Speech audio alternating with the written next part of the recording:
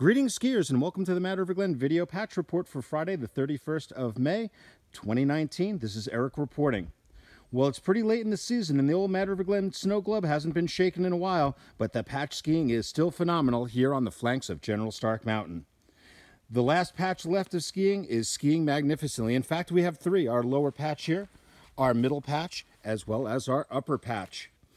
It's a pack powder paradise out there, folks, and these are the conditions that make Mad River Glen skiers great.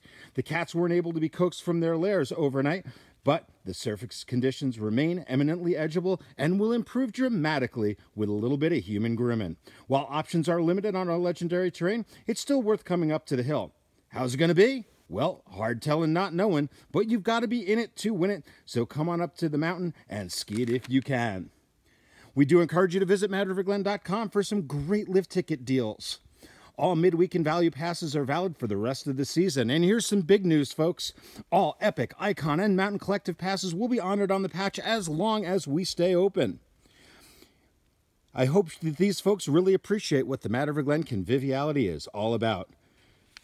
We sure hope to see you up on the hill real soon, so come on up to Mad River Glen and ski the patch if you can.